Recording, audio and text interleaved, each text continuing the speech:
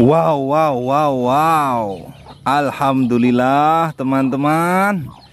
Hmm, kali ini kita dapat tangki semprot model jadul. Berapa kuningan yang bisa kita hasilkan dari sebuah tangki semprot jadul ini? Simak video ini sampai selesai yo. Yo. Alhamdulillah, tadi siang kita dapat tangki semprot hama mereknya Mas Pion. Dari penampilan luar ini loh. Wah wah. Wetok daging daging sekali ini wah. Cemokot sekali kemedol sekali. Hmm. Dan apa gue kemanggang seperti ayam-ayam ini. Pokoknya wes nyenengke lah Muga engko ya menguntungkan. Ini saya beli ya di bawah 100.000. Semoga saja aman Sulaiman. Iya, ngetono BTS lemu-lemu banget iki ya. Gemoreng kabeh kuwi. Oke, langsung saja akan saya lakukan penetelan terhadap tangki semprot hama ini. Semoga kuningannya menguntungkan.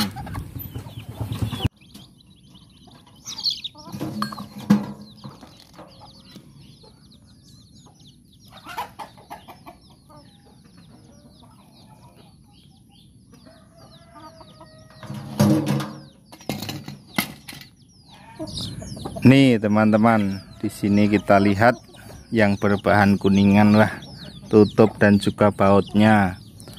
Kemudian di bagian atas ini, wah uning-uning ya ini enak telek etikus iki ya ngidani. Oh iki ya kuningan. Ya iki enak telek tikus ngidani. Ambungnya apa tuh iki? Keluar yo. Endi? Telek tikus. Kemudian di bagian ini loh kuningan, ya kuningan. Loh bagian atas ini ya kuningan, wah ketok daging sekali ini. Ya kuningan lah akan kita copot dulu ya. Nanti kita timbang hasilnya berapa. Oke guys, mantap.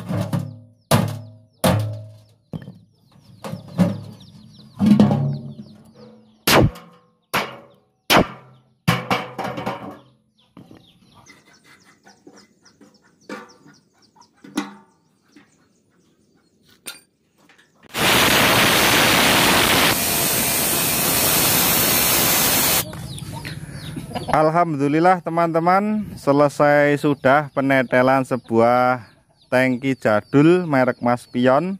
Dan ternyata kuningannya sebanyak ini. Coba bobotnya piro? 1,7 kilo.